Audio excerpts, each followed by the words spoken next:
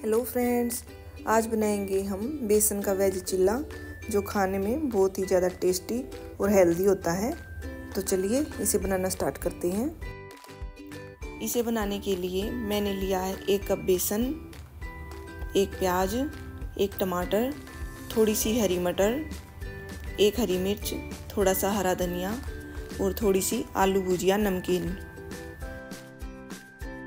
सबसे पहले हम बेसन का घोल रेडी करेंगे। इसमें डालेंगे हम आधा चम्मच हल्दी, आधा चम्मच नमक थोड़ा सा गरम मसाला, आधा चम्मच लाल मिर्च। सभी को मिक्स करते हुए थोड़ा थोड़ा पानी डालेंगे और एक स्मूथ बैटर रेडी करेंगे। लम्स इसमें बिल्कुल नहीं रहने चाहिए, नहीं तो चिल्ला हमारा अच्छा नहीं बनेगा।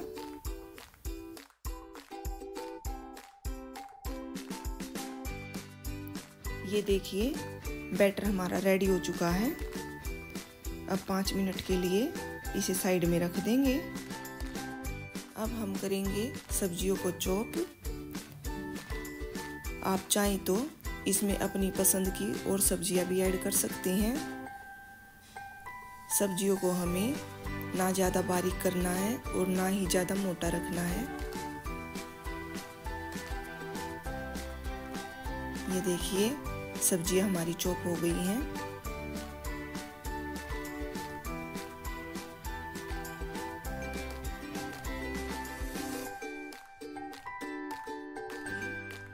अब सब्जियों को हम बेसन के घोल में डाल देंगे और अच्छे से मिक्स करेंगे। बैटर हमारा थोड़ा सा गाढ़ा लग रहा है तो इसमें हम थोड़ा सा पानी और डाल देंगे और अच्छे से मिक्स करेंगे। ये देखिए, चिल्ले के लिए हमारा बैटर रेडी हो चुका है। अब हम करेंगे तवे को गरम और इस पे लगाएँगे थोड़ा सा घी। गैस को हमें मीडियम फ्लेम पे रखना है। अब हम बैटर को तवे पे डालेंगे और धीरे धीरे हल्के हाथ से फैलाएँगे।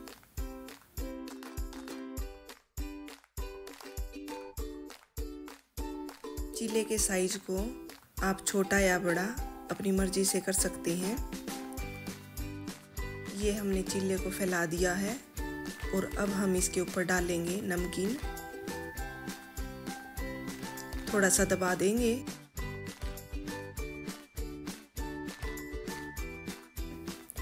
अब इसके चारों तरफ़ घी लगा देंगे।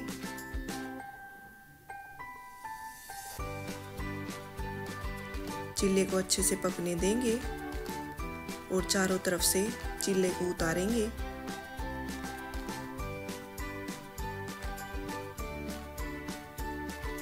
थोड़ा सा घी ऊपर लगा देंगे। अब हम चिल्ले को पलटेंगे।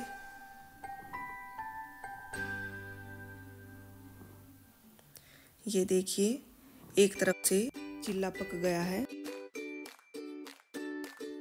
अब दूसरी तरफ़ से भी हम चिल्ले को इसी तरह पकाएँगे। दोबारा से फिर पलट देंगे। और ऐसे ही पलटते हुए चिल्ले को पकाएँगे। हल्का सा दबाएँगे।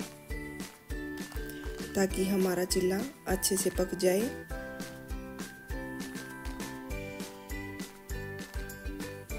ये देखिए चिल्ला हमारा पक गया है। अब इसे हम तवे से उतार लेंगे। दूसरे चिल्ले को भी हमने इसी तरह बना लिया है। अब इसे प्लेट में उतारेंगे। ये देखिए, चिल्ले हमारे कितने बढ़िया बने हैं। गरम गरम चिल्लों को आप टमाटो सॉस के साथ खा सकते हैं।